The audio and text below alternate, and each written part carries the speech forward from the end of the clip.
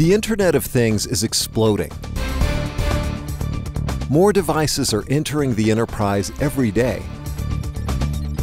While this expansion is great for consumers and businesses, many of these devices are coming to market with little security. Today, enterprises have a blind spot when it comes to mobile threats and IoT devices. The wireless attack surface is no longer contained to the 2.4 and 5 GHz bands. Bastille is the only company offering a solution that provides full spectrum scanning of the entire corporate airspace. Delivering an unprecedented view of wireless risks before they have a chance to impact networks, people, or assets.